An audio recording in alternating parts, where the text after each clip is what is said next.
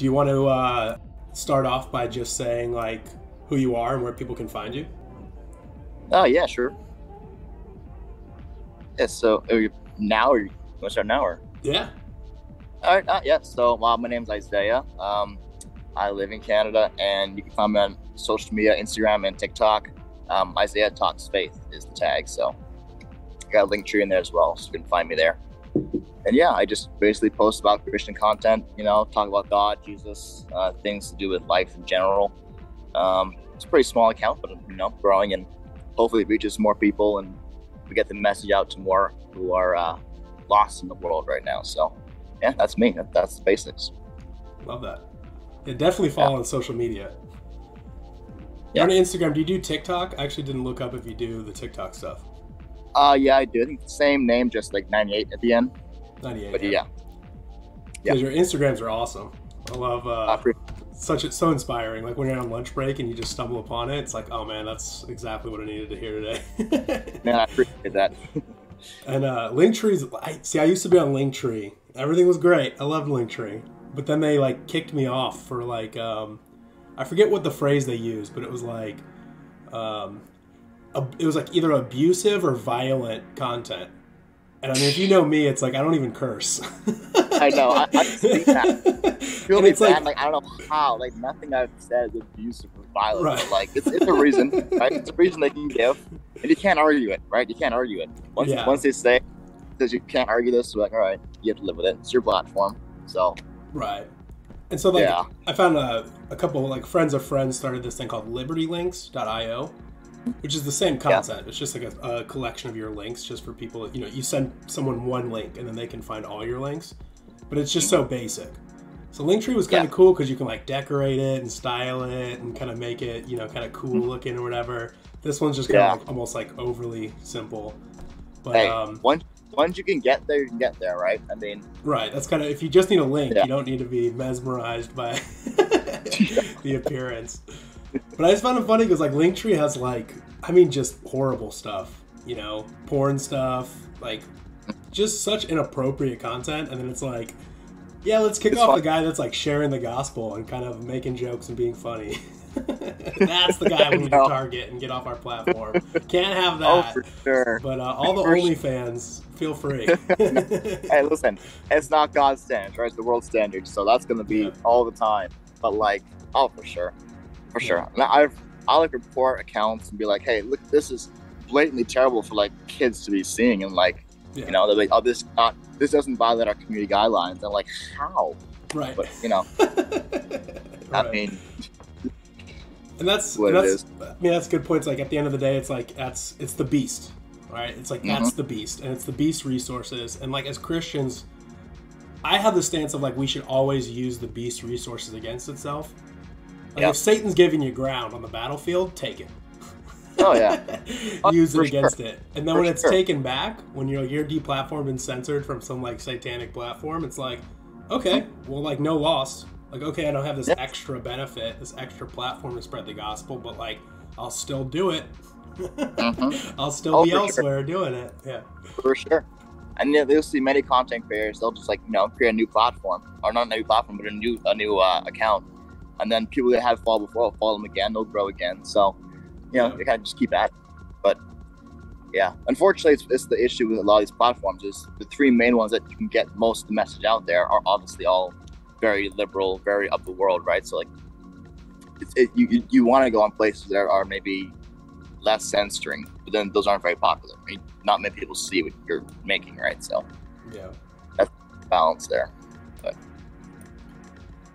Yeah, and it's like I, I, see it as like a good strategy. It's actually a question I had for you. I, I, guess we can just get into it. Is one of the questions is is using technology and social media to spread the gospel a good thing? I mean, as someone who creates content, I'm going to say yes. You know, yeah. I mean, I, I, I, I, I, yeah. I, I thought about it. I have thought about it for sure because like, and I've thought in the past about like maybe deleting it because, yeah, I look at all that's on there, and you wonder like, you know, I obviously feel like in person, things like church, you know, community.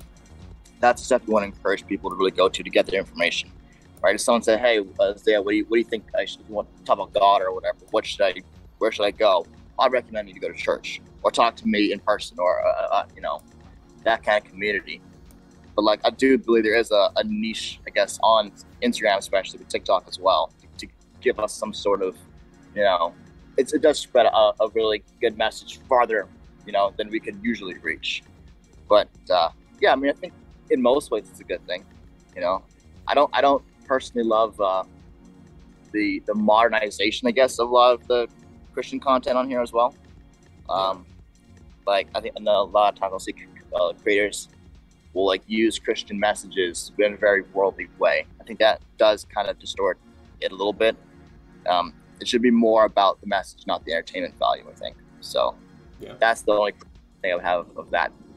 But I mean, it is good. Like if if TikTok is going to be like 98% really like awful stuff, to that, to be a part of that small 2% that actually has something positive to say, I think is always, you know, that's what I get from it. So, yeah.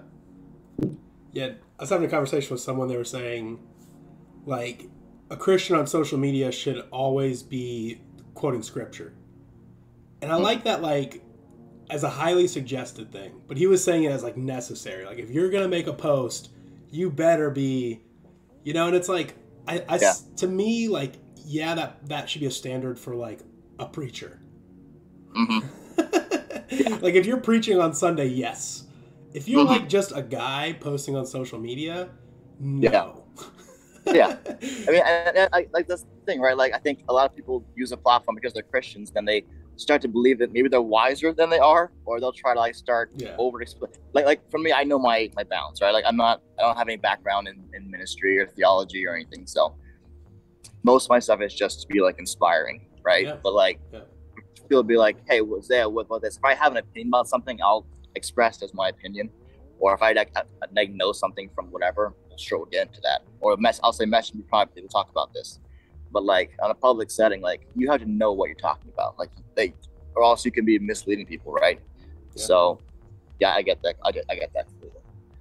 Yeah, because like yours, like, like, that word inspiring too, because it's like you can see your video, and yeah, you're not quoting scripture necessarily, but like you're relating the gospel. you're you're relating. Yeah.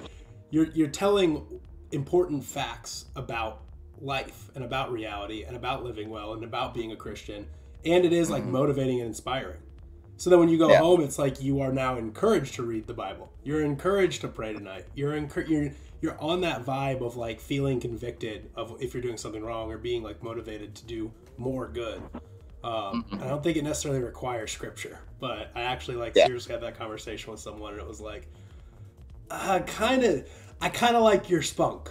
You know, I kind of like where your head's at with that, you know, but like let's tone it down on it. uh-huh. yeah.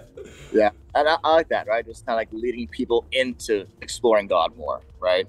Yeah. Like, uh, like some of them will, will be content just based directly towards Christians. Like the messages are, you know, directly relating to Christians specifically but the ones they're talking in general about, like inviting you to come to Jesus and come talk to God and get a relationship with Him. That's more of an invitation, right? So I do, I, I agree with that point you made there. Awesome.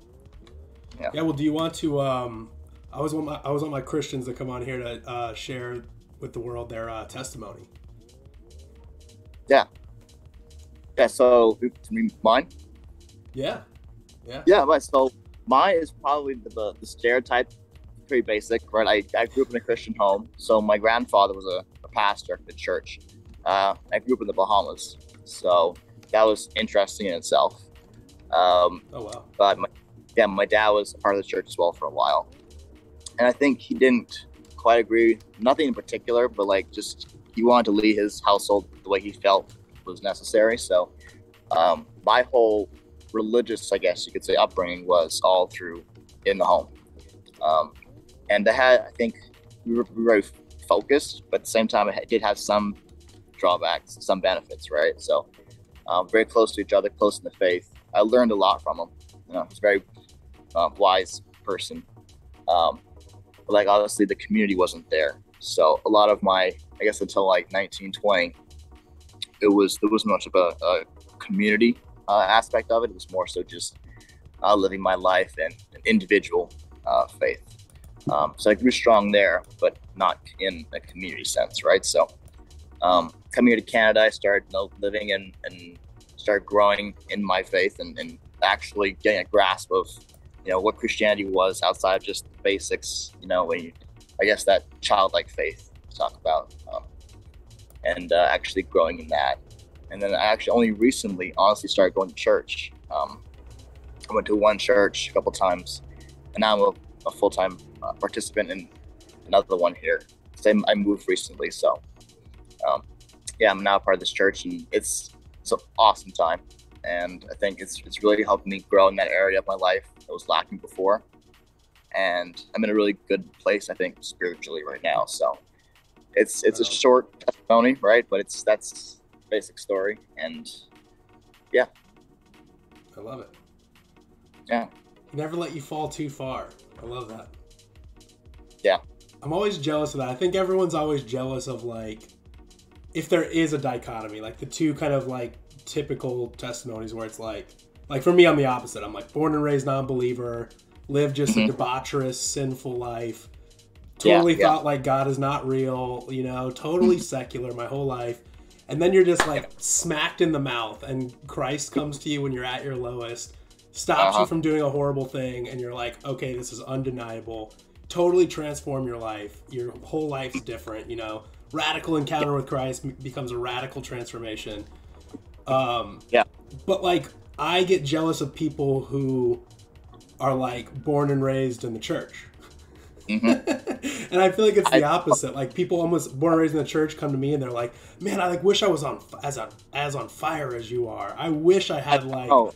You know, that radical transformation. Like that's such like confirmation. I wish I had that." And it's almost like mm-hmm. the prodigal son and the other son. It's like yeah. at the end of the story, both of them are saved, but one was there the whole time, enjoying mm-hmm. the house with the father the whole time, and one was like went out in the world, failed, and had to like come back, you know, and repent. Oh yeah.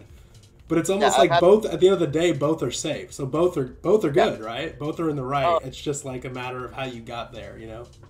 Oh, for sure. Yeah, that's always been something like I like. Oh, I wish if I had that moment, a coming to Jesus moment. You know, everyone talks about, right? Like, it's like but for me, it's always been there. So you almost have to feel like you're trying harder not to get like a humdrum, like, you know, like it's always a part of your life. So it doesn't seem as special to someone who's like, like you said, just hitting the mouth with it. It's like, it's a big moment for you. And then it just completely transforms everything you've always known. Right. So yeah, totally the opposite spectrum. Like sometimes I'm jealous, like, hey, you know, if I'd had that moment, it might, might feel more alive to me in that moment. But then it all balances out, I think, at the end of the day. And all people, I think I did a video on this before as well, like everyone's testimony matters, no matter which side you're on. And it relates to everybody in that situation, right? There's, there's people like me who've been the faith and maybe they're about to fall out because they've always done the same thing. It's not, it's more of a religion, I guess. Whereas Christianity is a lifestyle, right? It's, it's, it's who you are, it's, it's a, a, feeling of your spirit. So, yeah, for sure, though. It's, it is definitely that dynamic. It's always interesting. Yeah. Yeah, I get it a lot because I, I was I was in California. and I moved to Tennessee, and so it's also like night and day. It's like in California, you're oh. around like such non-believers that like Christians sure. almost have to be more on fire, you know? oh, and, yeah. But in Tennessee, it's like yeah, everyone's a Christian, but like, and I hate doing this because I don't, I don't want to be the one passing judgment, but like, are they? Mm-hmm. You know, I've encountered oh, so many yeah. people that say they're Christian, but it's like, when's the last time you've been to church? Well, mm. two years ago. When's the last time you read yeah. the Bible? What? You read the Bible? Yeah. oh, Never. Sure. you know, sure. it's like I, uh, I, don't know, man. Like I, I, I it, it's it is like an evangelist moment. It's a gospel conversation moment because it's like even this person's calling them a, themselves a Christian, and they authentically believe it, but they're so off. They're they're not mm-hmm. living accordingly. yeah. You know. I, I, I, feel that. I feel that. I'll, because like in the Bahamas, like I was saying before, it's it's I think Christianity is more of a cultural thing. So like everyone just, just inherently like the grandparents go to church, you know. And God is God is a known, I guess, idea. But in terms of living it out, a lot of people don't live it out. So if you ask someone specifically about their faith, what they believe, or what God is, they just know that there's a God. And it's kind of like you just grew up in that system, right? So I guess there's places like in the States as well, Tennessee, like you, that you've lived as well. Also, I guess Texas, I would assume, Utah, some of the Midwest states. Like there's there's a cultural difference, right? So like obviously California, New York, more liberal places, they'll have no God because places are supposed to be like Christian and spend like they push that. But like you said, are they actually living it out, right? So it's yeah, but I could definitely relate. The Bahamas was quite the same way in terms of that as well. So yeah, do you miss the Bahamas? Uh I miss the Bahamas when we had six, eight, ten inches of snow. yeah. Yeah. Um, at what point the the question the answer varies depending on what month of the yeah, year we're in. Sure. Yeah. I mean, even in, even in like the summertime when I'm trying to go for a swim in the ocean, the lake, and it's still freezing cold, and I'm like feeling pins and needles. Like I do miss the warm water. That's the one thing I miss. I miss the beaches and the water because I like I try, I try to swim here and it's painful. And it's a challenge. so. Oh wow. uh, but like lifestyle lifestyle wise, no. Um, it, it is a poor country in terms of like the main uh, places. So I don't miss that aspect of it. I think Canada's definitely an upgrade lifestyle wise. Um, yeah. But nah, weather, I love like right now, perfect season. It's fall. You know, I can go out. I got my warmish clothes on, but it's nice. Fall colors coming in. So I, I that's this got me the good time of year. This is why I'm happy with Canada. Yeah. yeah. So Tennessee's not as extreme, but it's the same. It's like yeah. I like I like that there are seasons. Yeah. San Diego, like there, it's just perfect all the time. Mm-hmm. I think that makes people crazy.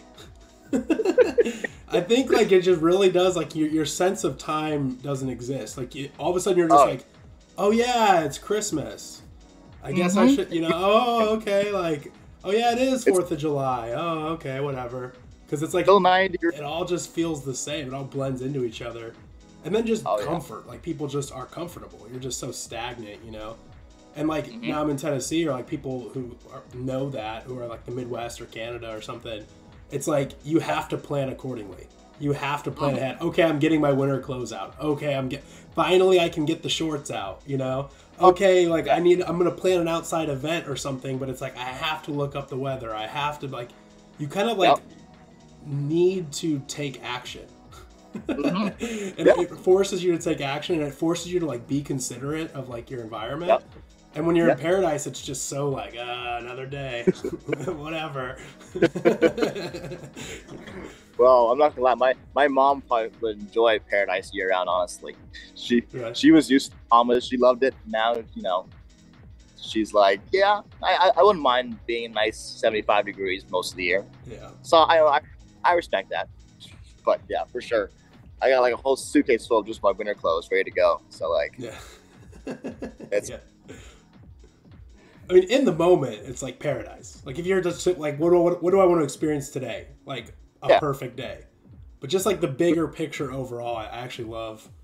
Now that I'm in Tennessee, you know, it's like in the summer I'm working outside. I get like super hot. It's like 100. It feels like 115 humid like it feels like you're just working in like a swimming pool like the air is just wet you know on a sunny day and then that flips mm-hmm. on the winter it doesn't really snow a lot here but it'll get like like 20 20 pretty consistently 30 pretty consistently yeah it's not super cold but just cold and yeah. oh. in that moment you're like this is miserable i would i don't want to be here but overall, like I love that. I love the changing of the season. Yeah, it's like fall. The colors are starting to change. Like the weather's starting to change. Um, I just uh-huh. like that there is change happening. Um, you know, yeah. things are blooming in the spring after being dead all year. You know, um, mm-hmm. but yeah, San Diego and I imagine Bahamas is pretty similar, where it's just like, eh, whatever. yeah, it's, everything Bahamas, looks the same. It is the same. The Nothing Bahamas changes. Has like, yeah, the Bahamas has, has like two months where maybe you get fall weather like relatively to like here. But like eight, nine, ten months out of the year, it's hot, and we'll we'll consistently get like 115 degrees in the summertime. So you literally cannot go outside; it's just unbearably hot. But like, yeah, it's it's like I did not enjoy that part of it. Like we used to work outside all the time. We had like a little business we ran, and we were outside a lot. That was never fun. Yeah. I look forward. I look forward. I look forward to the winter time for sure. Yeah. yeah, yeah. Well, who who were you in 2010, and who will you be in 2030? Uh, in 2010, I was uh, not who I am now, but that way first. Um, like I said earlier, just I was, I took Christianity at face value. Um, so that's changed a lot. And I guess also I've, my personality has grown a lot since then. Um, I was, I think I was a very awkward kid growing up. um, and I didn't have a lot of life experience as well. So, um, I think who I was then was very, I guess, naive would be a good way to put it. I guess yeah. 2010 I would have 12. So, um, 2030, hopefully I'm a leader in, in some aspect of my life. Um, I guess someone who is who has like a very direct path. Um, obviously, the way to God is a straight and narrow one, but like in life as well, just who knows exactly what he's doing with himself um, where God has in, in life. Hopefully, serving community as well. Hope that the person I am, you know, I guess eight years from now is someone who is like a genuine um, person, makes a, a real difference you know, in community. Because yeah. Christianity is not about yourself, right? And I can work on myself all day, every day, and try and be the most perfect person and, and all that. But like, we're supposed to spread Jesus Christ, right? We're supposed to you know, be a light. We're supposed to, you know, bring others. You know, the, the, the harvest is plenty, but laborers are few, right? So I want to at that stage. I want to be one of the few that's actually making a, a significant difference, not for my credit or not so that everyone knows who I am. So that that's that's for God to know. That's all I really care about. Um, but just uh, for myself to know and for God to, to do work for the kingdom consistently, I think is who I hope to be in the year 2030. Yeah. So. yeah. Well, that was a question I had for you. So you want to be a servant by 2030, but are you a servant of the Lord now? Um, I would I would say yes, but I can definitely do a lot more. I feel like. Yeah. Yeah. Well, you're. I, I think, think you're you're always gonna feel that way, right? For sure. like yes, but yeah, but like if I'm being honest, you know, there's some moments there where I sat on my couch for 30 minutes where I, I could have been doing a lot. I've been reaching out to someone. I could have done a lot more for sure. Yeah. Uh, but like, yeah, I, I think I don't know. I think in the aspect of like bigger picture, like obviously we can always do more, but like I do have some some thoughts, you know, about actually serving. Like, I think it's one thing to be a servant of Jesus Christ in my own life. I think I'm to answer your question, I'm there now. Um, but to be a servant to others in Jesus Christ, I think it's a different thing. Like to, to actually consistently and loyally serve, like I said, in the community. That's I think where I would make the difference. So, yeah. yeah. Love that. Yeah. And are you on mission? What's that? Sorry. Are you on mission? Uh, I think I am still figuring that out. To be honest with you, yeah. Now, I think I have a lot of a lot of ideas in my mind of what I would want to do. Um, I think just finding my, I guess we'll call it a calling, but like what I'm actually supposed to do, um, and and trying to pick the right one. Like, I would like I would like my, like I'm trying I'm in the process of trying to find a career work wise. But I want that to, that to line up with who I am, like in Christ, and and how I can use that to serve. I think that's probably the best way to do it. Um, like I'm I'm interested in like instruction, so I I would like to be able to. I haven't gone into it yet. I would like to be able to get into that field, really understand it, and then use that gift once I've mastered that to be able to help other people. Like there's a lot of practical applications that I think come with Christianity and like the people's lives in general, right? So there's one thing to lift someone up and fill them spiritually. People still need to eat. People still need to be housed and have shelter and clothes. So I think that's a ministry I, I am definitely interested in kind of getting involved in. It's just finding the right platform, the space, the right time to do it. So yeah, I, I have some I have some ideas. We'll, we'll, I'll, I'm, I'm hoping sooner than later I can start to figure that out. But yeah, it's awesome. Yeah. Um, yeah, it's so awesome. Uh, I wish more people were like that. like in that state of mind, you know. Yeah. And like honest too, we're just like I've I'm not there yet. I could be doing more. I'm gonna be and like then motivated, not just sitting in that like oh poor me or oh I'm not good enough or oh I I've been messing up, but like okay yes fact, but I'm gonna Yeah. be doing, but I'm about to take action, but I am taking action, but I like that. Yeah.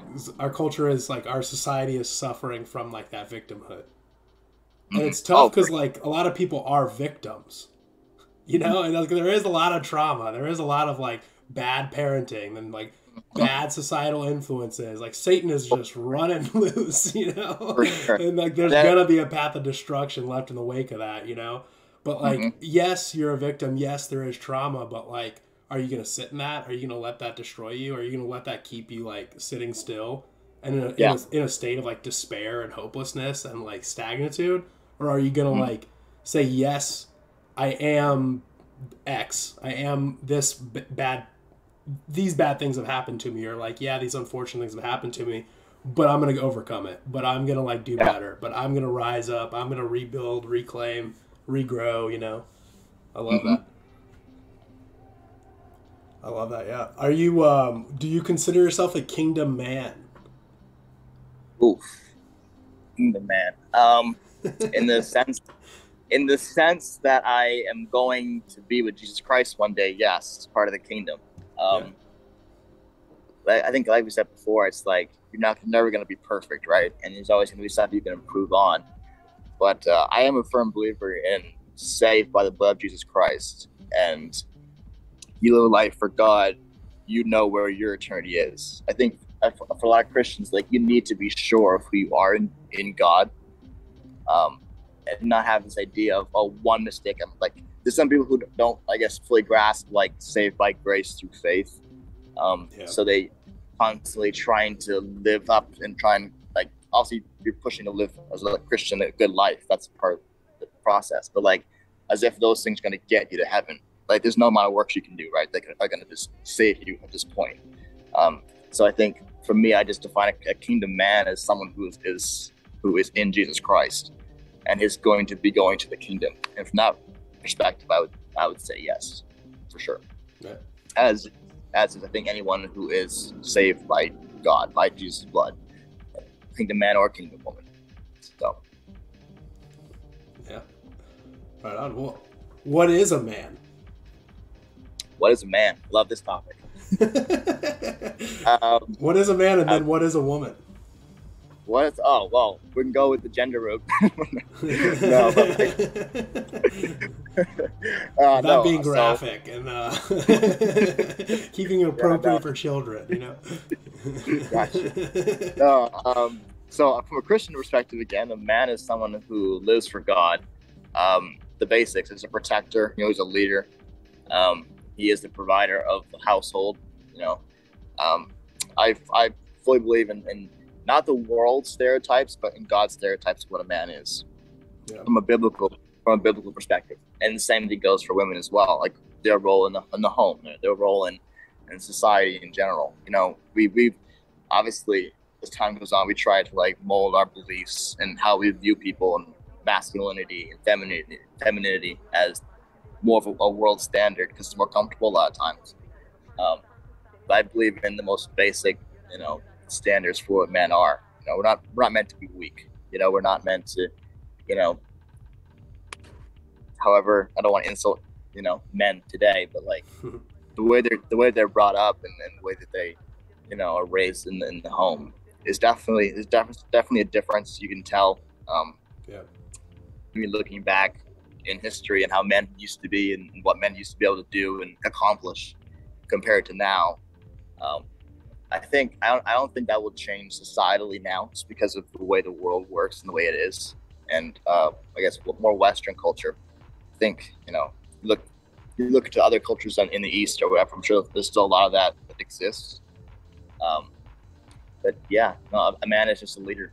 He's he's strong, and in faith, he's strong in God. He leads his home in God. You know, he raises kids up in a godly way based on Scripture. So you know, that's that's my definition of a man. Love that. Yeah. Love that. Yeah, that's uh have you ever read um Kingdom Man by Tony Evans?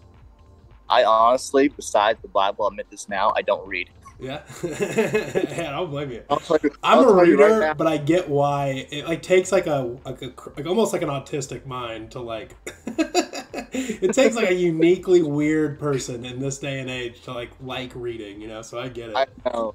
And I wasn't prefer podcasts and stuff, but sorry. Yeah, like I was. Yeah, no, no, sure. Yeah, I'm saying, uh, like podcast, sure, and I'll listen to. Uh, I'll watch the movie version of a book, like uh, Yeah. Case for Christ, Pete Strobel. I watched the movie version, and I, I felt it. It was great. I got the message. But like, I I bought multiple books with the intent to read them, and I've just not. I'm not. Can't get myself to do it. Honestly. Uh, do not blame me. Yeah, I get it. I get. It. No, I get do it. feel guilty. I feel like I really should be reading because there's some really good books, really good messages, and like I feel like I could learn a lot from them. I just, I just, I don't know. Yeah. No, I feel you. Yeah. there is, if you ever do read, there's a good book. but he talks about kind of what you were saying. It's almost like I was like, I was like, has he has he read this before or something? Because like you were kind of answering his his like claims too, which was like, a man is a leader whether he likes it or not. Yeah. You know, it's like men and women have these like roles, these God given roles. Like we were created by God, designed for certain roles. Like, and it's clearly defined in His Word. You know. Yeah. But like, society will change that. The environment we're in will change that. Like the circumstances, like things will try to like change that or like like for better or for worse, and lead you Yeah. away from that. But at the end of the day, like men are leaders, and Mhm. like sorry about it. What are you gonna do about it? Complain and not lead? Yeah. Like you have people depending on you, you know. Mm-hmm. Um, and that's like a whether you like it or not. Like sorry, like you got to get to it. You got to become the Yeah. man that like your wife needs, your children needs, you know, your parents need. And if you don't have like close family, like your community needs you. You know, your church needs you if you're a believer. Like people need you to lead and like take charge and like even if it's just a drop in the bucket, like there is change, like there is a a purpose and a role for you to serve and lead. And like as Christians especially, we should be taking that up and not running and hiding from that. Um, Oh yeah, but yes, I love that you like so clearly understand that. And sometimes it's it's sometimes I have some some tough conversations with Christians who are trying to you know the more like Yeah. equalitarianism mindset Yeah. instead of more like Yeah. a compatible compatibility Mhm. compatibilism kind of vibe where it's like to me it's just so scripture just is compatibilism but then you'll have these debates with people who are like the equalitarianism where it's like oh man and women are equal and should be doing the same Mhm. things or have interchangeable roles and Yeah. it's like just like I- can you point to any scripture in the bible any scripture to support your claim like yeah you can twist and manipulate scripture that's there that supports compatibilism and say it's wrong, but can your side say here, here is proof, here's evidence, and like clearly that God wants this to happen or that this is the case, you know? for sure. I, I think also like people like mix up equality for like worth. I think that's the big thing. It's like Yeah. Yeah. when, we, when we say when we say we're not equal, it doesn't mean that a man is better than a woman or a woman's better than a man. It just means we have different roles. And like you're saying, you have, to, you have to put effort into those roles. It's not everything comes naturally. Some things you have to actually work for, to work to be something. And those things, according to God's plan, make society run in the best way. As we can see, like society deteriorates when we start trying to push God's way aside, right? So, but for sure, for sure, that's I think that is the biggest misconception. It's like, no, I'm not saying I'm better than you. You know, not like, oh, you're you're below, I'm above. Go go inside and clean while I go make the money. Like, there's obviously there's roles to that. Like, there's, there's like a, a man cannot raise a child in the same way a woman can in certain aspects. In the same way a woman can't just raise a child the way a man does in a certain aspect. Everyone has a role that they play in, in raising children in, in society in the church, right? So Yeah, I like the thought too of like uh like the difference between like a father and a mother, where it's like Mhm. a mother is more instinctively like caring and protective, Yeah. and all about like safety, you know, like uh, Mhm. and a man is just kind of more like ah let him let him Yeah. let him live. For sure. it's more like take risks, go out there, get stronger, get better, you know. yeah, But it's like even in that child's life, like from age like zero to five, or you know, ish. I don't know what the exact thing is. It's almost like you really need that mother. You need that. Oh yeah. Keep them safe. Yeah, if they're like trying to stick a butter knife in an electrical socket, what they don't need is their dad going like, "Ah, let them learn a lesson. ah, it'll Exactly. be fine. It'll just shock them a little bit." No, they need a mom to be like, "Oh my gosh, stop, stop, get pull the knife out of his hand. Don't do that again." That's the mentality you need to have. When those kids then turn into like teenagers, what they mm-hmm. don't need is a mom saying like, "Don't take risks, do mm-hmm. everything safe, avoid conflict." You know, mm-hmm. run run back to mommy, and she'll take care of your problems for you. Yeah, You know, sure. what you need is a dad to say like, "Hey, you're gonna have to learn. You're gonna have like life's life's about to get tough for you, and you got to learn to like you have to Mhm. start becoming an adult and taking care of your own problems, taking risks, Yep. exploring, learning, like pushing you to kind of like do things yourself. Um, but that's like that perfect balance. Like that's that complementary complementarianism, exactly Mhm. like in in its true form is that. Yeah. Like Yeah. a child that's born needs a mom early in its life. Like literally Mm-hmm. needs the food. Like literally needs Yeah, like the sure. warmth and the love and the touch, the sensory touch. You know, but Mhm. also like the emotional care of a mother, like that protective, Right. caring instinct. But then when that same child grows up, what it needs is then that father more than anything to like lead it, teach it, provide for it, you know, teach it like Yeah. explain how life works to it truly, Yeah. you know. Um, Yeah.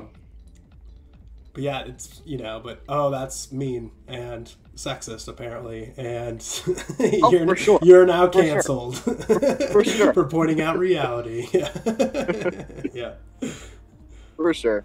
And that's that's just that's just society, right? And it's whatever whatever they feel like they need at the time, you know, from either I guess either financial perspective with in, in, in society now or what they're trying to push.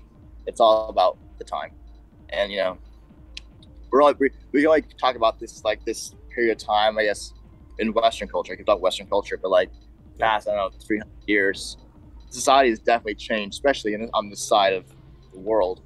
Um, and that's just based upon our roles and and what who's trying to push what when, right? So yeah, yeah. What you kind of you kind of hinted at it, but do you think that men are failing women in these modern times? uh, hundred percent, hundred percent, and I feel really bad for a large percentage of women, um, because men do not do not embrace their masculinity, their their, their who they are as men. Like Yeah. you know, I think the issue that men have is, especially I think now, one of the negatives with social media is you, you're fed something all the time. What a man's supposed to be, what a man's supposed to look like, what you're supposed to do. This is often like the minority opinion, but because social media is for everyone and everyone sees it, like that's the perspective you're going to get. And if you're not being raised, like we're talking about in the home, in a proper way, where you're being led by your father or led by you know your mother and, and, and you know in, in the right way, especially in a, in a Christian way, you're going to be led by the next closest thing, which for a lot of kids growing up now is social media, um, is their influence in society, and like I think culturally, men have been weakened in that aspect, and then Yeah. obviously I still believe in individual like take responsibility for who you are. So don't blame someone else that you're failing. Like you are the one who's failing. And yeah, I do think for sure that men have failed women in a lot of aspects. For sure. Yeah. Well, how do we how do we rebuild the men? I think it's it has at this stage it has to start fundamentally from a Christian perspective. I think Yeah. the more the more that God is preached. Like I think if you look at the like let's say you take the United States for example, right? Like it was founded, and a lot of the Constitution and the principles are founded on God. So, so it was in the beginning, I believe, from historical, except for all the the major issues, like, um, but from a general like fundamental standpoint, like it was a lot of Christian values. So the roles were a certain way, right? And society looked one way. And not- not to say it was perfect. There are a lot of flaws in that. But like I think to get to a space now where we're actually really going back to those fundamentals, God has to be a major part of that. And unfortunately, I honestly don't know if we will get back to that stage. Um, just be just because where we are now, you know, people say it's the end times. Uh, I have no opinion on on that, but it it's I'd be hard pressed to say that we're getting better. You know, Yeah. I feel like a lot of change will happen in small groups. Um, I just feel like society, like like the world's gone to a stage now where it's hard to to, to go back to something that is universally better. Like, I don't think that's the standard that we're at in the world and, and, and like where we are now. Unfortunately, you know. I mean, never say never. I don't want to feel like the guy who's like knocking everything and just like the world's doomed. I don't think that at all. But yeah. like, I think I think appreciating where we're at, like, it's definitely an uphill battle, you know. And I think it starts in the church, honestly, and growing that and, and branching out from the community and like really building a foundation. Um, because right now the foundation is not God.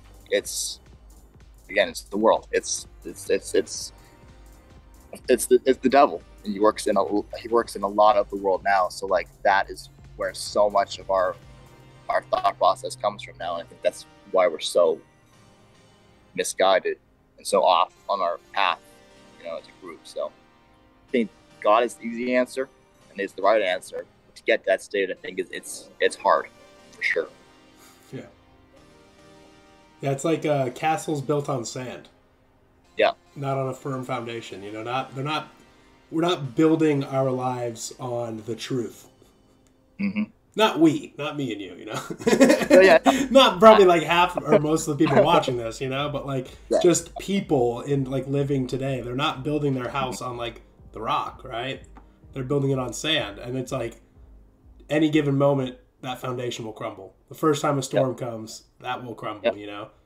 And like, yeah, those who build like modest homes on a firm foundation, yeah, they might not live as fun lives or entertaining lives or be as like successful, quote unquote, to the world standard. But like, Yep. we will survive the winter. we will survive Yeah. the storms. Yeah. For winner, yeah, for sure. yeah. Yeah, that's true. So my my viewers know because I, I bring this up all the time. And shout out to uh, Stephen Mansfield who actually like wrote about this in a book.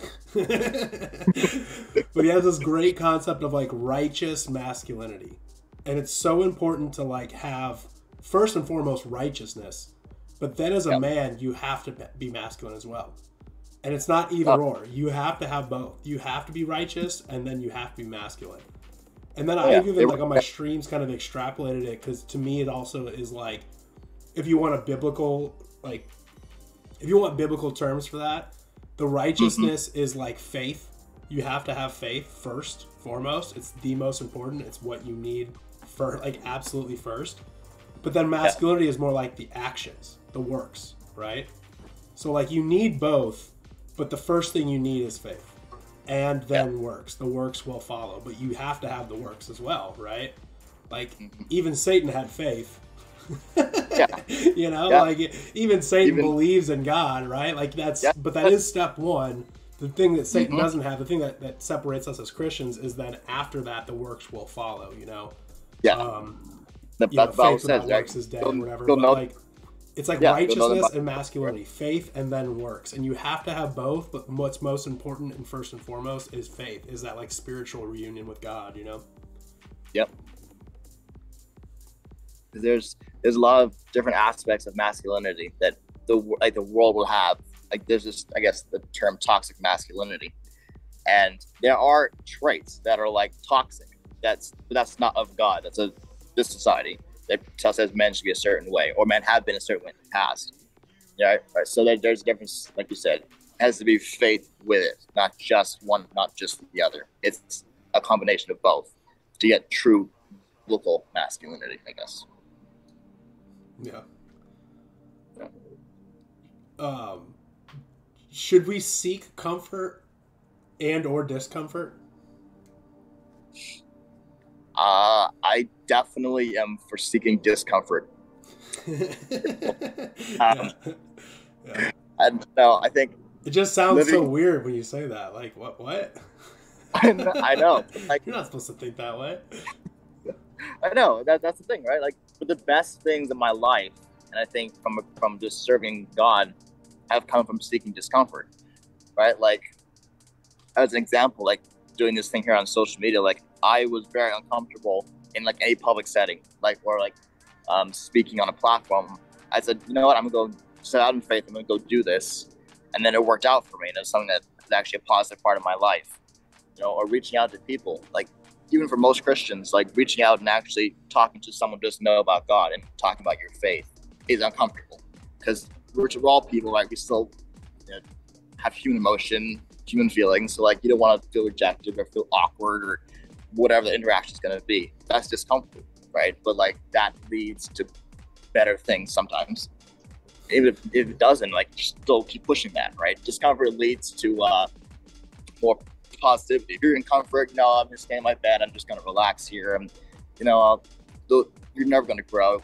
People and people around you are going to suffer because you're not living up to your full potential. So then they don't. They're not affected as well, right, in a positive way. So I guess the same, you know, the uh, YouTube group, um, what was it? Yes Theory. You heard of them? I don't think so. No. Yes Theory. Yes Theory. Yeah. They uh, their whole I guess message is seek discomfort, and I guess the whole point of it is they'll they'll travel to the most remote locations. They'll like interact with, and a lot of their situations I would not recommend. Obviously, they're very out there, but like. like learn from their channel, but don't do it yourself. Like yeah, yeah, you yeah. have to. You can, you, can, learn from a fool, right? Yeah, yeah, um, yeah. But like yeah. some of their best experiences come from doing things that most people wouldn't do and that could be very or perceived as very uncomfortable. And their whole thing is seek discomfort because they're able to go out and then meet amazing people or, or have amazing experiences that they wouldn't otherwise have. So, yeah, I'm fully for seeking discomfort. I think that's most people should take that and run with that because that's like the most productive and sometimes the most positive things come from that.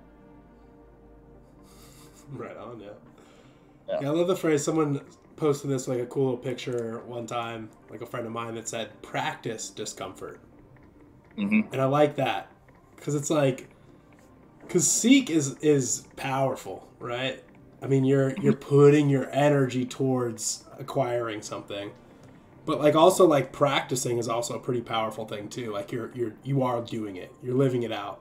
Maybe you're not like basing all of your actions for it, but you're like bracing for the impact. Like you're bracing for the oh. reality that like this is gonna happen, and you're training for it. Mm-hmm. You're like building up like like you're stressing yourself so that you can build up immunity to it. You know. Mm-hmm. But yeah, I, lo- I love that. I like that. We are talking just like right off screen about you know.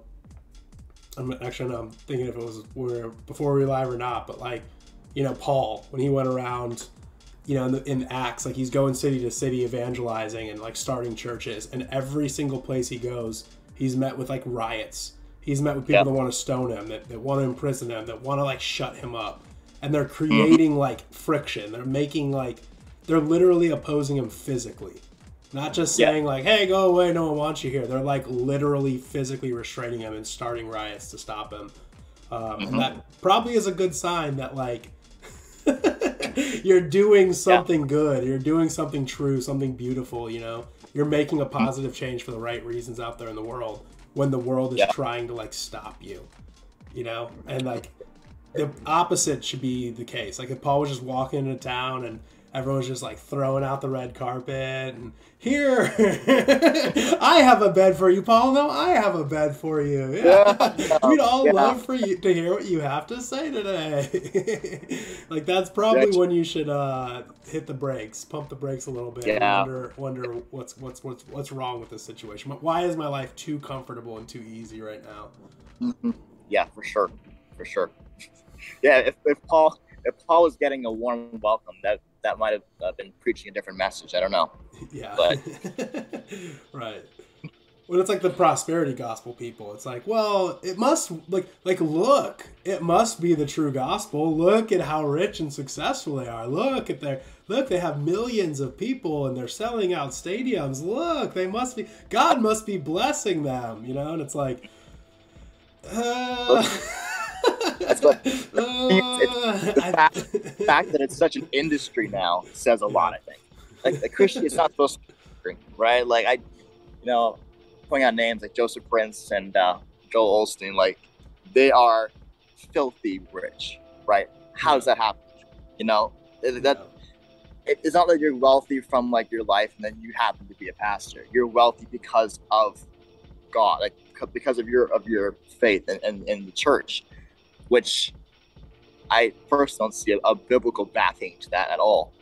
Um, and a, a lot of the message it sounds nice, right? You can get so many people in the doors. The more people in the door, the more people, more money you're making, right? Because that's it's just financial, and that's why it's, it's you have to be very careful who you're listening to, right? Who you're taking your information from, because people I see like people post stuff like, oh, look, this message sounds great, and everyone loves it, and it's it's a feel good message, but it's it's shallow and it does has no no backing, and then yeah. people are hearing this and they're feeding off it and then they're spreading that and it's it's a it's a web. So. Yeah. That's did you hear about or like follow that whole thing about um it was like a podcast series called the mars hill something? And it was about that guy mark driscoll. Sorry i recognize the name but i don't think i followed anything so it was a whole thing. It was a whole, you know, it's basically it's made by like Christianity Today, but it was made by these people who are like deconstructionists, you know, so they're trying to yeah. deconstruct Christianity, which basically means like Satan is trying to rewrite the gospel, yeah. you know, and package it as like family friendly and nice and, you know, good feelings and good vibes and positivity, you know you're not a sinner. Yep. Jesus loves you, you know? It's not like yeah. Yep. Let's not talk God's about the fact that you're a sinner that needs repentance. You know, no, God Jesus made you who you are and he loves you that way, just the way you are. Yeah. Uh, God is God is love, right? There's nothing wrong. But it's like he the story in a, you know, just totally like a hit piece. I think if you're a Christian you can kind of just see you can just hear the hissing of a snake as you're listening to it, you know? but it is like there is some truth to it, right? Like that's why it's appealing. Like that's why some people buy into it because there is truth there. It's like this guy Mark Driscoll kind of was like the first megachurch preacher guy that used the internet. Like in mm-hmm. 2005 ish to maybe 2013, I think is when the scandal kind of blew up. He was like the yep. first person to like start using YouTube and podcasts, and no preacher or pastor was doing that now it seems silly because like every single person has a TikTok page and every oh, single yeah. person has every church has a live stream feed. Every so now at this point it seems so like yeah, duh, of course. But like it really was like that first moment of like this guy kind of tapping into the internet and becoming like a celebrity, and yeah. you know it blew up like and it's his fault you know, he he flew too close to the sun, you know, and his wings got too hot and then he fell, you yep. know. And he was just mega church, he's selling out like football stadiums, you know, he's getting yep. millions, if not billions of views and listens and follows, you know. But like mm-hmm. what he failed to do was like be a good pastor. He failed to be a shepherd of his church. And he was like vocal about like I'm kind of this mentality of like, well, I'm so popular, people love me I don't mm-hmm. need to be corrected. I don't need to be discipled. I don't need to be convicted. You know, oh, well, your church is only so and so big. I don't have to take your advice, John Piper. or, you know, right? stuff like that, where it's just like, oh, John Piper doesn't have a YouTube channel as big as me, you know? Mm-hmm. And so then, like, yeah, he says some mean stuff, does some mean stuff to people in his church. Thing explodes. He has to resign, and then they make a big scandal and try to make this big hit smear piece on him. But to me, what happened after that is what's the real story, which no one wants to talk about, where he repents, where he learns mm-hmm. what he mm-hmm. did wrong, where he goes to a new church and starts rebuilding it and starts going, you know what? I don't need to be a celebrity anymore. That led to mm-hmm. my downfall. That led to such destruction. I left a, a, path of destruction in the wake of where what I did. So I'm going to mm-hmm. do things right this time. You know, he yeah. repents, he apologizes, he rebuilds a church, and he's like, "This is not about views and clicks or my money or my fame. This is about leading people to Christ. You know, no yeah. one wants to bring that up.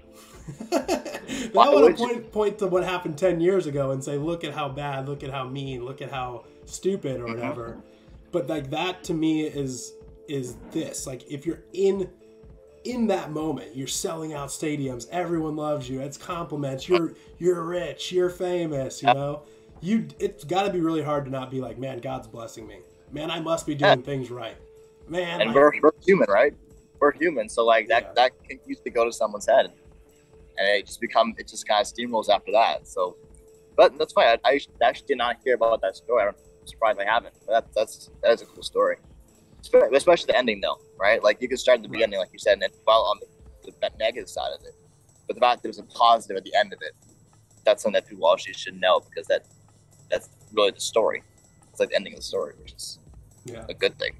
So yeah, and then I had this kind of same discussion with like a Christian who was hating on him. Right? They're like, "Oh well, he shouldn't be a pastor." And it's like. I mean, yeah, but also like Christianity is based on redemption. the whole thing yeah. is like you make mistakes and you repent and you go forward and you seek Christ, you seek to be perfect like Christ yeah. after that and then you're gonna fall again. mm-hmm. you're gonna yeah, fall short again, and then you repent and you get back up and you start seeking perfection again. You get back up and you start trying to sin no more, and then you're gonna sin.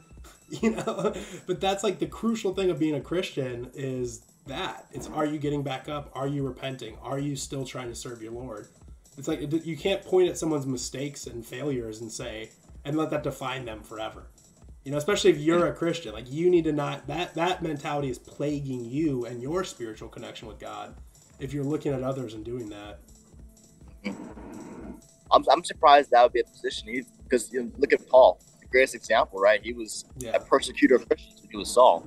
He did the most awful thing. He actually killed believers, but he was still able to change, turn that around, and then be one of the most influential people, right? So, like, I mean that that argument is is I can't understand that one because like Christianity is about redemption, right? So like if, you, if someone had like like that pastor and he fell, you know, in, into the world and he's able to come back and still do good, that shouldn't be a criticism. That should be something that is something that's learned from, but then made an example, right? So yep. yeah, I yeah, yeah, I get that. Like, I think it just happens. I think I think people you know, because Christians aren't perfect. And mm-hmm. like you do have this natural like flesh urge to like judge and compare yep. yourself with others. And then it's like the, the, going back to that prodigal son thing, like I'm actually in the boat where and you feel free to disagree with me, but like I actually kind of do feel bad for that like the the younger son or the older the son that was there. I think he was mm-hmm. the older son actually, right? Yeah, yeah, the older one, yeah. like he was there. He was obedient. He did everything right and then here mm-hmm. comes that here comes that that screw up. You know? And he's and he wasted all of our family money. He did all of his stupid selfish stuff. And then dad's just gonna come and welcome him back without any kind of punishment or you know any kind of like real apology. Like the dad stops him before he can even apologize you know? He's gonna mm-hmm. give him the he's gonna give him the fattest calf I only got a goat. it's like that that son is actually in the right, and like I, I think that is like a very natural tendency for us to have, but also we have to break it. But also that we yeah. can't sit there and linger in that and just assume that that's good, because like also Jesus in that moment is telling that parable to the face of the Pharisees because that's what they're doing. They're being that mm-hmm. second son or that older son, you know. But the difference between the Pharisees and like a Christian is like I think a Christian could be that that older son if that older son then fights off that flesh urge to be, compare and judge and does kind of realize and let God let the Father work. You know, mm-hmm. understand like maybe this isn't about me. Maybe this is about something greater. You know, maybe this is going to be about God's glory. And yeah, I, I only got a goat, but I still got something. You know, mm-hmm. whereas the Pharisees yeah. couldn't shake that, and people who have that yeah. like Pharisaical mind can't shake that. It is about them. It is their about themselves only, you know. Mm-hmm. Um, but I think that is kind of a natural thing we all have in us because it does happen a lot. Like for sure. No, it's, it's, I was saying about that humility, right? It's about understanding that we're all like Ryan's supposed to be able to be a part of this of his kingdom, right? We, we fell from grace a long time ago.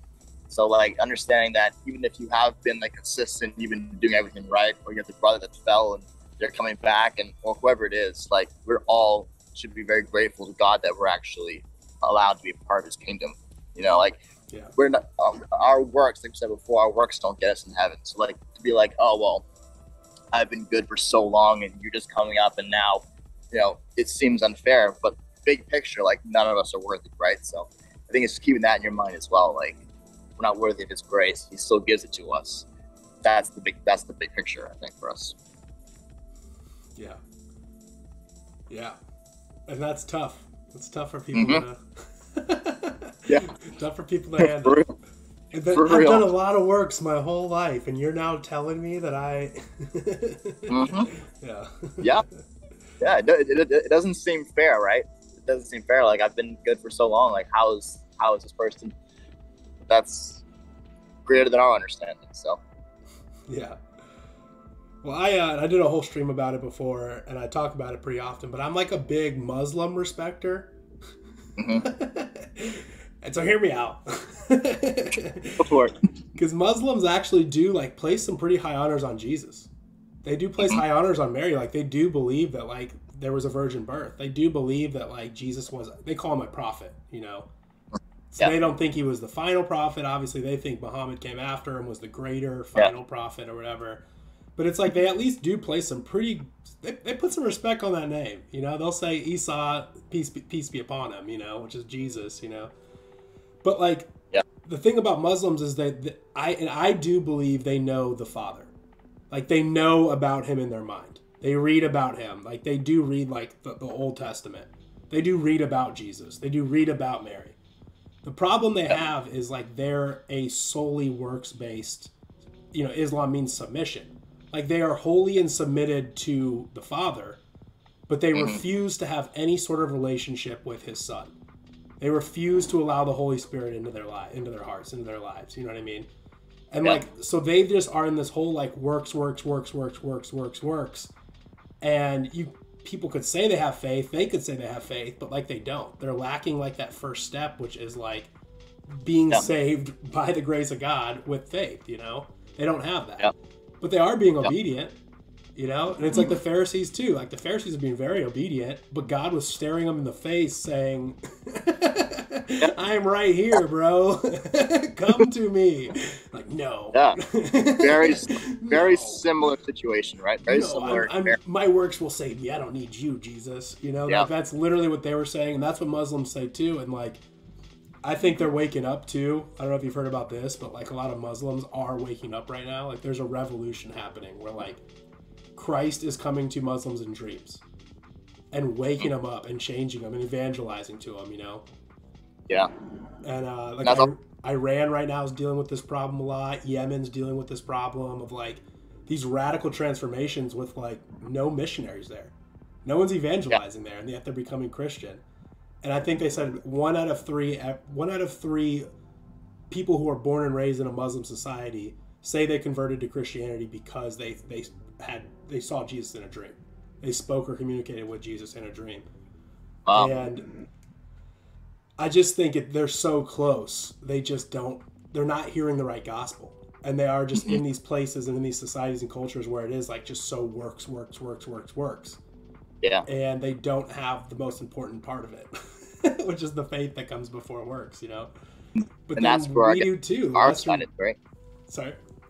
No, so now that's where our side comes in as Christians, right? Is to be part of evangelizing, to, to give people that last step, right? That, that's that's why it's not just an individual thing. It's about trying to get that message out and missionary and being part of that process. That's our biggest calling as Christians, right? So to bring those people in who are on the verge. Yeah. The tough thing is like, are you? Can we just go to like Saudi Arabia right now and do that? Like, you want to book a flight with me? talk about persecution. Talk about seeking discomfort. You want to come to, Oh, yeah. to Saudi Arabia tomorrow? That might be the end of it right there for you. yeah. yeah. But that is, and then that's where God moves, and that's proof of God moving. So even when we fail, when we as Christians fail to evangelize to those in Yemen or in Iran, uh, God finds a way. Still, hmm you know, and He's Yep. not going to force them. He's going to give them a choice. He's going to come to them in a dream and say, "Choose me, accept me." Are you willing to do Yeah. that? It's going to radically uproot your entire life. It might lead to persecution and death because your country Mhm. may or may not be really strict against this, and these people are doing it. Like that's so powerful. And you were Yeah. saying that like, the difference between the West and the East is like I actually see a lot like Iran, Yemen, um, Jordan. It's happening a lot in Jordan, and there's always this country I forget the name of it. Bahrain, Bahrain. It's like a Muslim majority, Yeah. pretty strict country, and they're like re- really having a hard time right now with like stopping the spread of Christianity. They're like persecuting churches, persecuting Christians, you know. And then Yeah. also I did a stream too about China. So China Yeah. is having this radical transformation, like ra- like it's just spreading like Mhm. wildfire, and the government is like failing to keep up with its persecution. Yeah, I've, I've heard about that. Yeah. and they s- predicting by I think it's I think it's by 2100 there's going to be 400 million Christians in China, which Wow. is more than the population of the United States. You know, Mhm. that's a lot of Christians, and you don't usually think of Christian when you think of China, right? No, and that's impressive given that there's so much persecution of the faith, and that's Yeah. people still coming to Jesus despite of that is pretty awesome, honestly. Yeah. And that's a testament. And like, so as much as the West has been abandoning our faith, like the East is on mm-hmm. fire right now. It's awesome. They can't even stop it. They have like them all, like th- their entire government is like trying so hard to oppress and stop it with force, and they cannot do it. Yeah, you you can argue that we've had it too easy over here. Like we've gotten Yeah. so used to comfort that like it kind of becomes easy, and then we just kind of we're not too sincere about it. But like like I have major respect for people in countries where their life is literally on the line, and they're still accepting Jesus and like living that faith out. It's a real testimony in my mind. Yeah. Makes me jealous. Again. I do kind of, I do kind of get those thoughts of like maybe I can just like move to China, be a preacher in China. Because there are these videos, these like really powerful videos of like people smuggling in Bibles. Mhm. So they can have Bibles in China, but it's like state approved, and so the state will rewrite the Bible and basically Yeah. take out miracles or take out any, any kind of divinity, you know. Um, so it kind of turns into a historical book, and I think they even really phrase rephrase a lot of stuff in it, you know. But then people will smuggle in like Chinese Bibles that are like the actual authentic translation, and they'll like Yeah. smuggle them in suitcases and like open them up, you know. And it's these people, these like Chinese people picking up this Bible and holding it like it's a newborn baby that took them, you know, twenty years to to give birth to. Yeah. You know? Like you can That's just tell, like they'll never let this go ever again. They're crying, they're hugging, they're so thankful for it. And then it's like, but there are nights where I'm like, eh, I'm kind of tired.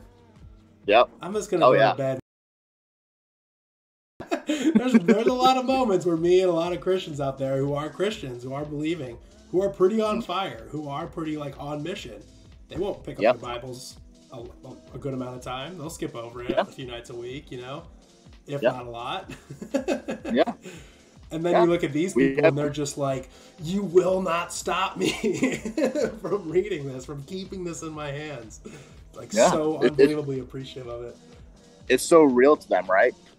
It's just like we're so used to having the Bible right there every day in our face whenever we want it. It becomes Yeah. more of a routine than anything else. So I, I get what you mean with the jealousy side of it. That's that is I can understand that. yeah. Well, and too, then then they'll have like church, quote unquote church. So that's another Mm-hmm. funny thing is they have churches that also like the state government has to approve, and they'll put in they'll put like spies, like the government spies in there to kind of make sure things aren't getting too crazy, make sure the Yeah. real gospel's not being preached. Um, there's even rules of like the churches they make sure they limit they can't have steeples because they can't and they can't have crosses on top of their building because they don't want the people to look up at God. They want Mhm. people like eyes level on you know, and they want the government to be higher spiritually and physically above these people. Yeah. But then like people will just go to farms. They'll go to like caves and just have church. And they'll have these Mhm. people because they don't really have Bibles. Um, they have like people that know that have read it before, like preachers who've like memorized scripture or who just pretty much know it, will just Yep. speak and they'll speak for like 10 hours. So these people will just try to like repeat the Bible for like 10 straight hours or just give like 10 hour long, 12 hour long sermons, you know? And those people will sit in a cave, like sitting on rocks, you know, for like 10, 12 straight hours. No food, no Oh. snacks, no checking their phone, their status updates, or yawning. You know, when is this over? I got a NFL Sunday kickoff is Sunday. Titans game is playing. I gotta, I gotta go. I gotta leave early. Sneak out when the worship music kicks in. You know.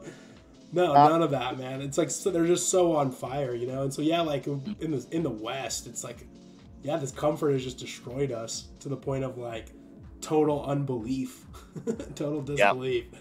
And then in the yep. East, though, and not everywhere, right? And probably, probably not mm. even the majority, but millions and tens of millions, if not hundreds of millions, are doing this. And that is like, mm-hmm. yeah, it does make me jealous that I'm not a part of it, but also just happy that it is taking place. Yeah, for sure. Yeah. Well, um, I was going to ask, how much control do you have over your life? Oh, too much control. I mean, technically, God has all the control, but like we're all free will, right? So we, I mentioned earlier, I completely believe in like being responsible for yourself. Like, you take responsibility. We're responsible for our actions. So, you know, we have all the control. It's just giving it to God and understanding that we our our free will should coincide with God's plan for us. So like I have control. I can choose right now to not go to church again. I can choose to not, you know, open my Bible. I can choose to go live a different life and live it up, right? Enjoy the pleasures of now. So yeah. I could I, I could choose that or I can choose to follow God. And that's on my soul, right? So I know I know I'm gonna choose. But yeah, I think, I think 100%.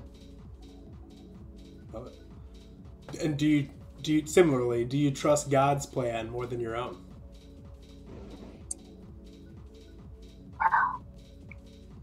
That's a good question. I think so. I, yeah. I think sometimes we get them both mixed up. So like I might think that what what you know what I want. Well, I'm gonna try and go for this. I think this is what I should do and like not i think being closer to god you can understand his plan for your life you try to like, make it up on your own and like do your own thing have your own plan you know and that i think is a, a hard a hard spot to be in sometimes like sometimes it is hard genuinely hard to know what god's plan is right so i, think i think the, important thing is to always stay in prayer and stay really close to god and in connection with him and then those things will start to just kind of come together right like but the best decisions that I've made have been when I've been closest to God. It's probably the best way I can put that. Yeah. It's like a, it's so weird how that happens. mm-hmm. like all throughout the Bible and then all throughout your life. Like when did when did times really work out the way they truly like in a way that was so magical, so powerful, so real, yep. so authentically good. It's mm-hmm. like when you're trusting in God and yep. then like time and time again. You get to that point where you're like oh okay thanks god. I don't need you anymore. I'm gonna i, got, I got this, I got this. yeah yeah yeah i got this. Don't worry. Me me time now. I i'm i'm good. Thanks for making me powerful god. Now i'm in control you know? Yep yep yep. Like from the first man. All the way till now yeah I heard a good, good sermon the other day about you know the guy was talking about, and I'm sure everyone has kind of discussed this in like a small group or in their church, where it's like you look at like all like Israel, and just time and time again, you're like, how could you be so stupid? Yeah. how? Like why? Why did you guys lose your faith? Like oh, didn't God prove Himself to you over and over again?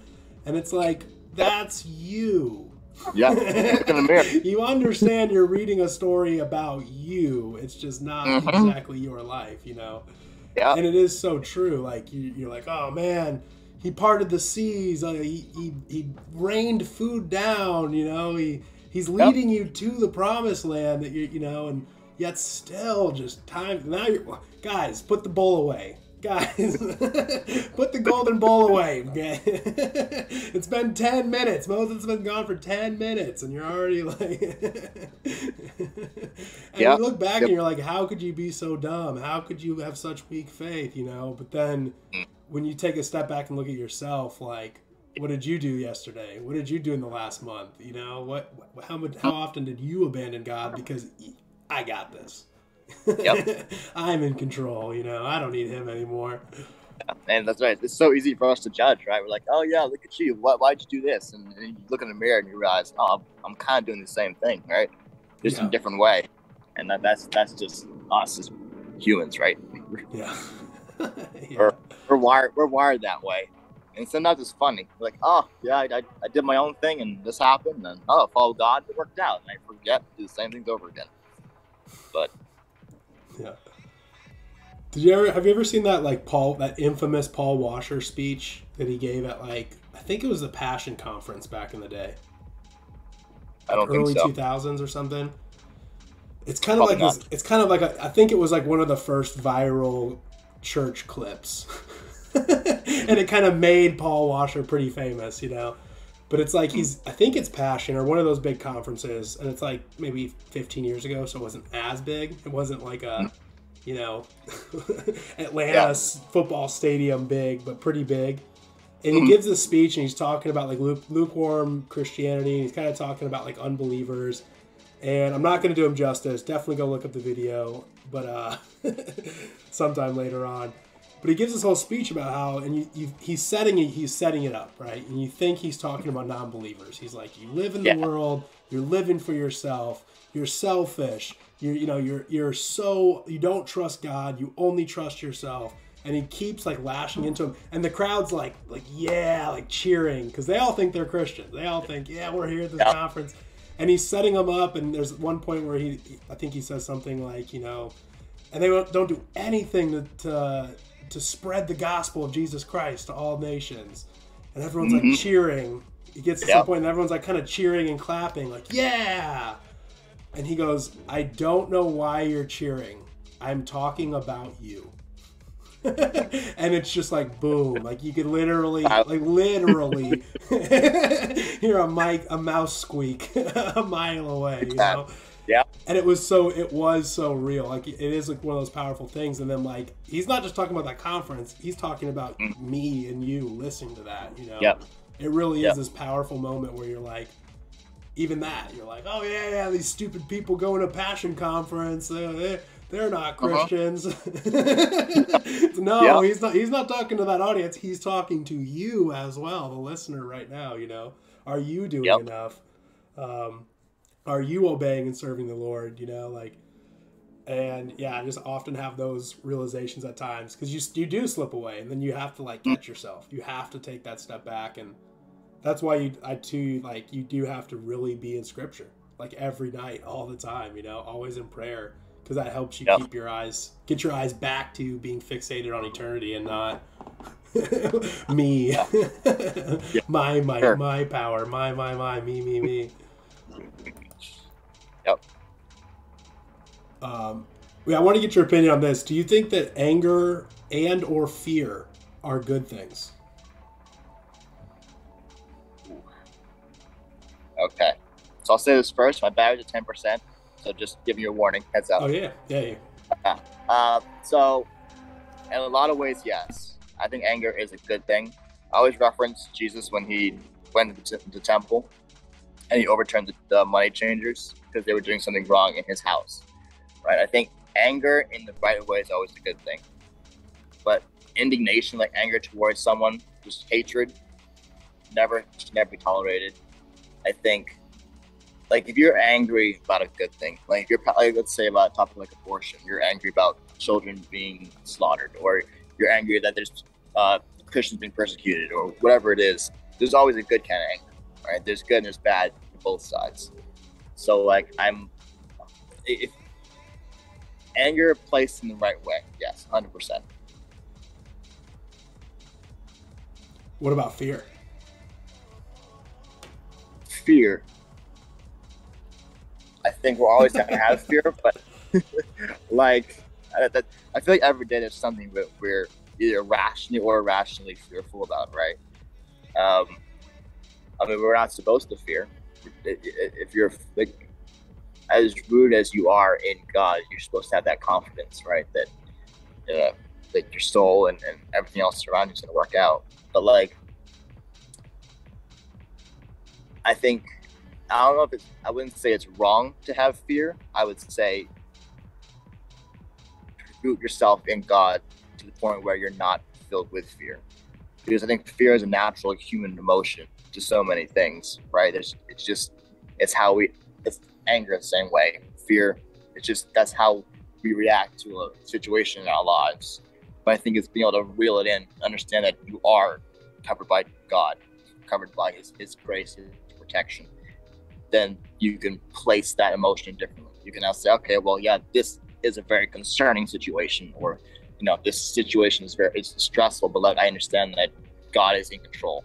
So even though I have this emotion of fear, right? the Bible says, "Do not fear, do not worry," it's basically saying, right, give that to God, right, and allow Him to be the ruler of that emotion and, and that situation. So I think fear in itself is not wrong. It's natural. It's just I think being able to compartmentalize the fact that we feel a certain way, but it's in God's hands. That's how I'd answer that.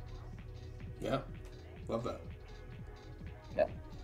Yeah. My recent thing has been, um, especially at my job. I work like landscape construction, and we often Okay. have to load these big giant like skid steer machines up these Yeah. ramps to put them on a trailer to like drive into the job site.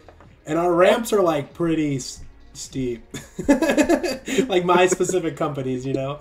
So we have these Uh-huh. like giant, you know, I don't know how many pounds, but tons of pounds of machine. You know, we're going way too steep, and there's kind of a moment where like it tips. You know, it's a tr- it's two tracks, so it's not like wheels. So you kind of tip like you're leaning really far back or you're leaning really far forward.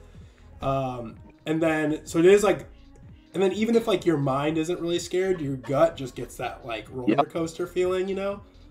And it's just Yep. one of those things like every time, you know, you watch everyone do it or you do it, it, it's like every time it makes it up, it falls, it sets on the, you know, or you're backing up and every time it makes it down safely. Mhm. Um, but then just like, like a week ago, basically, I messed up and went a little too fast and Yep. flipped it. And literally, I mean, I was horizontal. I got caught. Like I, it, the machine caught itself. You know, like it has like a metal plate in the back. But like, Yeah. man, it was really terrifying. and it was just one of those moments too, where you're like half terrified, but half like, okay, take action. Like that fight or flight kicks in, where you just kind of like, Yeah. okay, you jostle it, you push a little gas, you, you hit reverse, you know, at the right time, and you kind of catch Yep. yourself. But so ever since then, I keep having to like load none of these machines, and what, I have to like reinforce in my mind is, you were not given a spirit of fear. The Lord did not give you a spirit of fear. so I just kind power of of repeat that and just put that in my head, and like as I'm doing it, you know, and then still like even today, I was like doing a smaller machine, but it was like. Mhm. God did not give you a spirit of fear. This is lies from the enemy. this is a spiritual attack. And so you're just like, I got this. I got this, you know? And it still is Yeah. like scary. You still get that gut feeling, but like then you do it and you're like, yeah, Yep. yeah, he did not. he gave us a spirit of truth, love, and hope, you know, not fear and, Yep. you know, Yep. despair. Power- Love and a sound mind. I love that. Well, yeah, right on. Uh, I have one final, final question for you, but before that, do you want to just again like give any like plugs or shout outs for the people out there? I mean, it's really just the account, you know. Follow me, Isaiah Talks Faith, you know.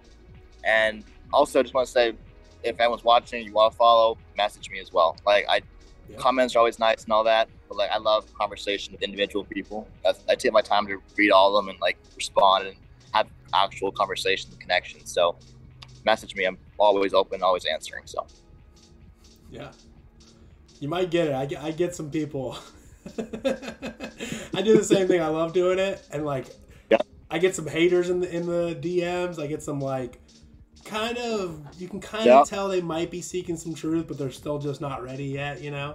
uh, And then I get some Yeah. like authentic like "Ah, I'm feeling that pull. I just don't know where to start. Can you help me? You know, and it's like Yep. in two of those scenarios, I actually like engaging. One of them you have to just hit block and move on, you know. But like yes. Yeah. even I kind of do dive into like the debates and the contro, you know, the controversial. Oh, I'm- I'm the same way. and- I'm the same way. But like, if the comment section is like 25, 30 comments down, I realize it's going nowhere. right. I'm like, all right. I'm like- Like, we've had a good conversation. message me up privately if you want to. We'll keep talking, but like Yeah. this is not anybody else out. So like it's you know God bless, right? But Yeah. it's fun. I had a lot of those. It's very very entertaining and challenging sometimes too. yeah. When I had one, one, one person made a good point when I was making the comment about Twitter, and I'll say this quick. Mhm. Sorry, I know the battery's dying, but like, you know, you get in these these threads, and you're just you're trying to like preach. You're trying to like preach the gospel. You're trying to be nice, and this person just is not grasping it. He's insulting.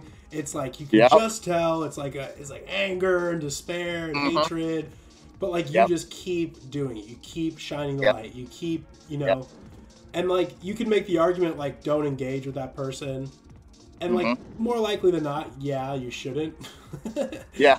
but someone made a comment one time when I was saying that, like, yeah, just block them, just ban them, just stop having that conversation. You're not going to win that person over. Like his heart is hard. He's not Mm-hmm. anywhere close to being ready to receive the gospel yet. You know that you're, you're throwing seed on rocks and hoping it's going to sprout, right? You're not throwing Mhm. seed on good soil. But someone made the comment that like, but other people might look at that. And Yeah. if other people do look at that and they see this person that's just ignorant and stupid and mean and hateful, and mm-hmm. they see you responding with like love and peace and confidence and the truth, you know, that could inspire not that, you know, I am a troll 42 or whatever that's commenting with you, but like the the person that is clicking on that thread and reading it. That could actually plant a seed in that person's head. So I struggle with that because I I do just kind of have a natural reaction to just be like, ah, okay, Yeah. this isn't going anywhere. Block, delete, stop, yeah. yeah, it's that balance. You gotta find a, some like you, you go on long enough that you make your point, and then if it's the exact same thing, you're, you're texting, you're, you're mentioning the same stuff back and forth. Yeah, yeah. Then all right, this is not going anywhere. So, but yeah, I've, I've done that more than my fair share of, of times. So. Yeah. Yeah. Right on, yeah. Well, my final question is Did you have a fun time tonight? I have. It's been a blast. I've, I've been I- I've been looking forward to that. and I was like, I was, I was watching some of your videos. I, I just I enjoyed it, and I was like, yeah, this is gonna be a good time. So this this has been good. I've enjoyed it. Awesome. Awesome. Yeah. I'm glad you came on. I'm, thank you for rescheduling. I'm sorry about that again. Oh, again. sure. Yeah. No, it was good. I literally for the past few months I had nothing going on, so you could have told me any date, and I was pretty much open. So like, we're, we're good. Awesome. Yeah, we'll have to do this again. I have a bunch Oh, more sure. questions and topics to get to. Yeah. For sure. Yeah. And in the meantime, keep making those videos, man. They're great. Yeah, thanks. Hey, same to you. Great. I appreciate.